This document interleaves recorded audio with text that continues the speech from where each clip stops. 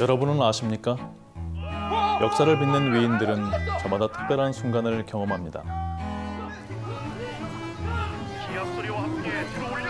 나라가 들썩일 만한 중대사일 수도 있고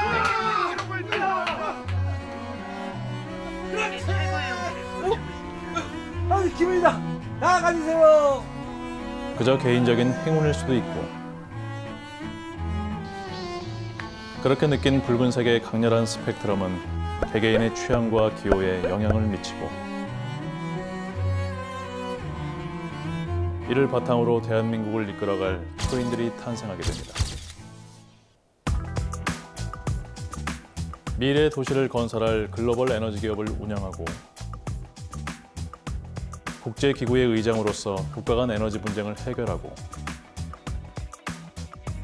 에너지 패러다임을 송두리째 바꿀 신소재 개발을 통해 세계적으로 권위 있는 상을 수상하는 대한민국의 영웅들.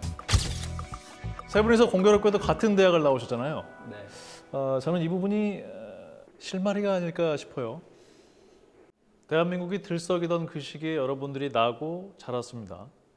그 시기를 지배했던 어, 붉은 기운이 대학 선택에 영향을 주지 않았을까? 어떻게 생각하세요? 어, 저는 고려대학교에 융합에너지공학과가 있었기 때문이에요. 세상을 바꿀 계획이나 야심은 우리 모두에게 있었지만 어, 전체를 볼 수 있는 기회를 얻기는 힘들었어요. 제가 다녔던 융합에너지공학과는 알맞은 기회를 줄 수 있는 곳이었어요. 맞아요. 지속 가능한 에너지를 개발하고 싶다면 한 가지 분야만 배워서는 부족했죠.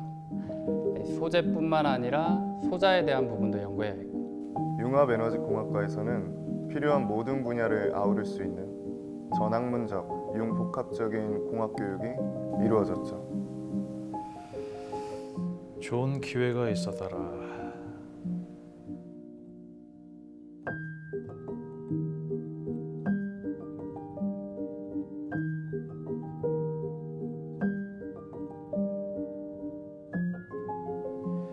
이런 질문은 어떨까요? 여러분들이 다시 그 시절로 돌아갈 수 있다면 그때도 똑같은 선택을 하실 건가요?